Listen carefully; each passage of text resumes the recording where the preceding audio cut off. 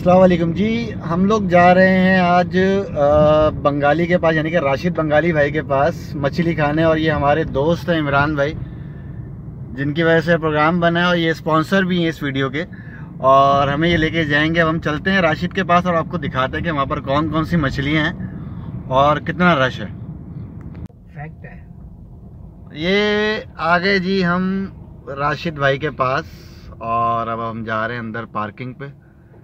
Welcome to Rashid seafood ये रुक गए भाई। ये बहरहाल हम निकल गए।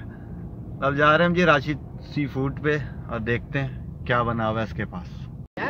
जी ये आ गए हम खतरनाक से केकड़े के पास। हाँ बंधा हुआ बंधा हुआ ओहो हीरा दो पंद्रह सौ बारह सौ। और ये बिल्कुल ज़िंदा है। अबे अबे अबे अबे भाई, पंद्रह सौ अबे पंद्रह सौ हीरा पंद्रह सौ। ये आ गए जी हम।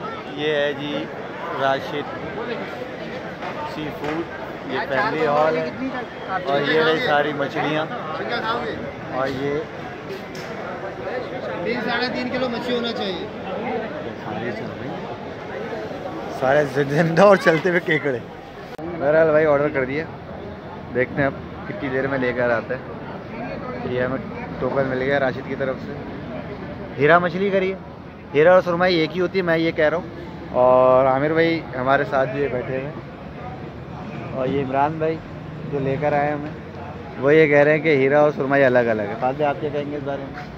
अलग अलग भाई कह रहे हैं तो आमिर भाई की बात नहीं कर सकते एक ही होती है। आमिर भाई कह रहे हैं एक ही आमिर भाई ने थोड़ी बोला एक ही होती है। ये मैंने बोला है।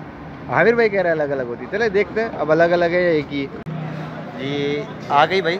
और ये है इमरान भाई।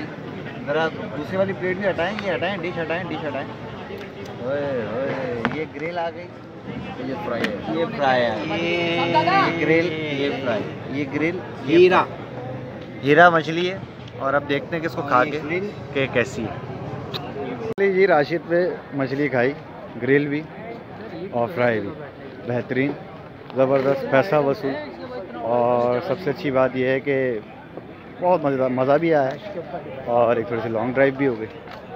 तो मेरी ये एडवाइस है कि आएँ और ख़ास तौर पे हमारे, हम शुक्रिया अदा करते हैं इमरान भाई का, जो तो छोटे से आपको पीछे खड़े हुए नज़र आ रहे हैं, कि वो हमें यहाँ पर लेकर आए स्पॉन्सर थे वो हमारे। आमिर भाई हमारे साथ आए आपका भी बहुत शुक्रिया। फाद भाई पीछे रह गए, उनका भी बहुत शुक्रिया। तो ये वाली वीडियो को लाजमी शेयर करें ताकि लोग ज़्यादा से ज़्यादा आएँ क्योंकि सर्दियों में तो वैसे ही यहाँ पर बहुत बहुत लोग आते हैं। पाकिस्तान जिंदाबाद।